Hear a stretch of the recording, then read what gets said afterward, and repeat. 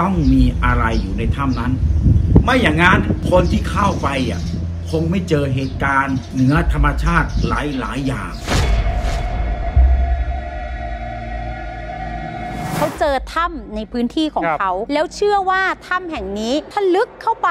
ถ้าตามดวงไฟกับเสียงนั้นนะ เสียงกระแอมหึ่มหึ่มๆจนเจอ น่าจะเจอสมบัติภายในถ้ำหมอปลาเนี่ยรับเรื่องนี้ไว้ มันดูแล้วมันก็ดูน่าจะลึกอยู่นะโอ้แล้วว่าความปลอดภัยอยู่ๆเราจะลงไปคงไม่ได้ ต้องให้เจ้าของพื้นที่รวมไปถึงเจ้าหน้าที่ค่ะ ลงไปด้วยเพื่อความปลอดภัยเขาส่งข้อความไปหาหมอปลาแล้วบอกหมอปลา ช่วยหน่อยขอคำแนะนำสักนิดนึงผมค้นพบถ้ำที่มีดินและหินติดอยู่ คนงานขุดให้ดู แต่คนงานเกิดความโลภเราเลยเลิกขุดกัน แล้วมีความเชื่อว่าถ้าใครขุดแล้วมีความโลภอาจจะเสียชีวิตก็ได้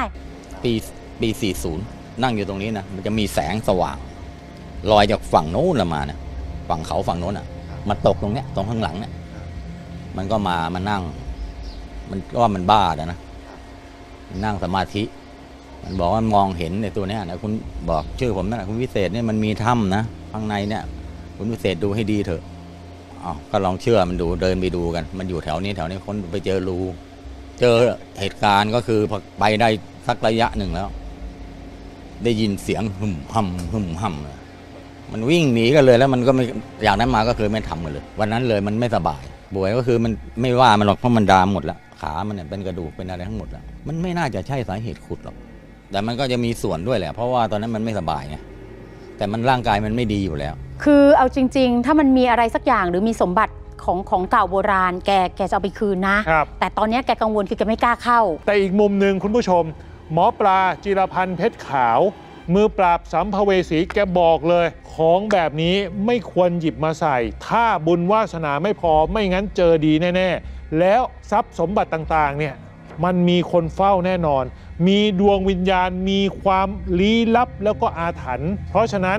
หมอปลาบอกว่าถ้ามีโอกาสเดี๋ยวจะไปปักหลักแล้วก็ไปพิสูจน์ เป็นไปได้ก็อยากจะไปนอนเฝ้ามันซะเลย ต้องมีอะไรอยู่ในถ้ำนั้น ไม่อย่างนั้น คนที่เข้าไปอะคงไม่เจอเหตุการณ์เหนือธรรมชาติหลายหลายอย่าง แต่พวกนี้แปลก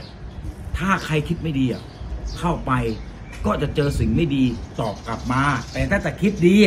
มันก็มีอะไรเกิดขึ้น แต่ถ้าคิดจะเอาแล้วก็แล้วแต่ ถ้ามันเป็นถ้ามันมีสมบัติจริง ๆอะสมบัติพวกนี้มันมีเจ้าของเจ้าของไอ้นี้มันคือ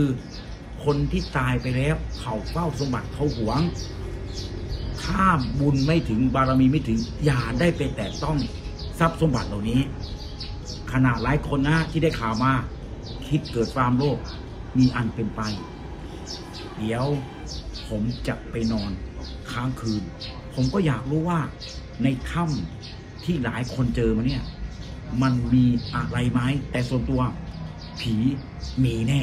แต่สมบัติ 50 50 ครับ